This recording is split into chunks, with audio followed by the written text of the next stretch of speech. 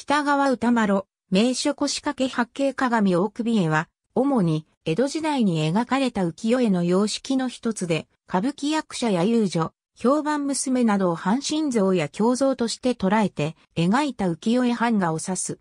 役者の演じる表情や遊女の美貌を間近で鑑賞したいという要求から生まれたものである。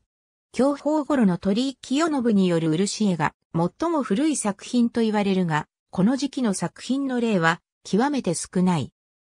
その後、安永頃になると多く見られるようになり、天明の頃には、勝川春章、勝川春美、勝川春絵というように大首絵を、主として描く絵師が現れ、役者への東秀祭写楽、美人画の北川歌丸によって、大首絵は一つの頂点に到達した。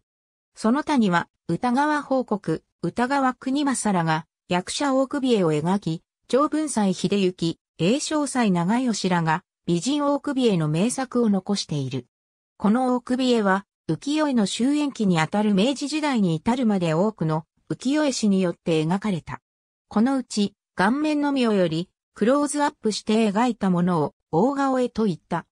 顔のみを大きく扱ったのは、春吉見が最初であるとされているが、明治期になると、月岡義俊、小林清親の作品に、これに近い3枚続くが見られるようになった。ありがとうございます。